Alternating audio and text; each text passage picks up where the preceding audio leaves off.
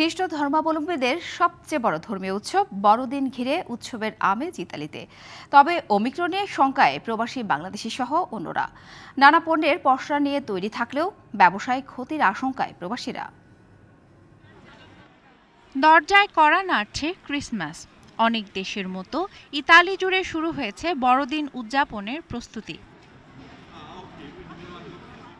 Christmas উপলক্ষে Rome সহ পুরো ইতালি সেজেছে বর্ণিল সাজে। আলোকসজ্জা করা হয়েছে হোটেল, মোটেল ও বিভিন্ন রেস্টুরেন্টে।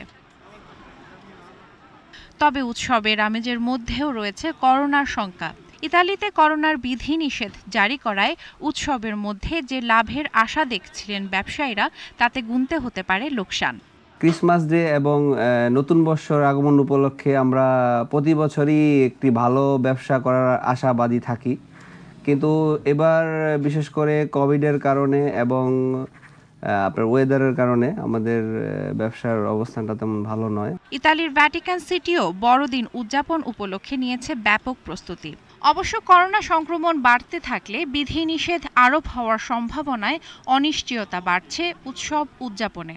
এই বছরটা এখনও টুরিস্ট অনেক কমে গেছে আর হোটেল ব্যবসা অনেক মন্দা মন্দা যাচ্ছে। DBC news desk. অস্ট্রেলিয়ার সিডনিতে ব্ল্যাক টাউন কাউন্সিল হলে শত প্রদীপের আলোক শিখায় শত প্রাণের দীপ্তি বিভায়। বর্ণিল হল ঢাকা বিশ্ববিদ্যালয় ও জগন্নাথ হলের শতবর্ষ পূর্তি উৎসব।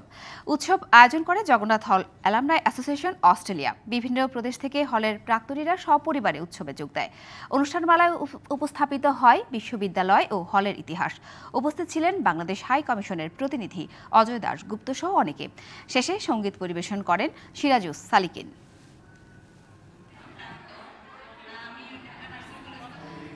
এদিকে Bangladesh scouts international forum of অস্ট্রেলিয়ার নির্বাহী কমিটির সভা ও পুনর্মিলনী হয়েছে। এতে দুদক কমিশনার ডক্টর মোজাম্মেল হক খান প্রধান অতিথি হিসেবে সংযুক্ত ছিলেন।